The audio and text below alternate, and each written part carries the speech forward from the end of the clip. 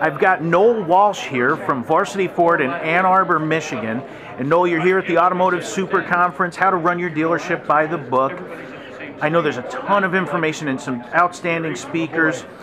Overall, what are you going to take home from this conference? First off, the lead speaker, Dave Anderson, did a tremendous job.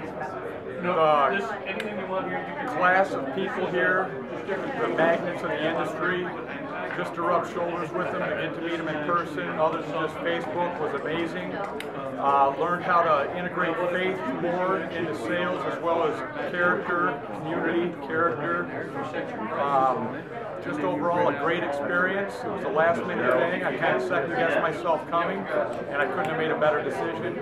Got to say, God works in mysterious ways. Absolutely, he does. Th- thanks for giving me a couple minutes of your time. Enjoy the rest of the conference, Noel. Thank you very. Thank you.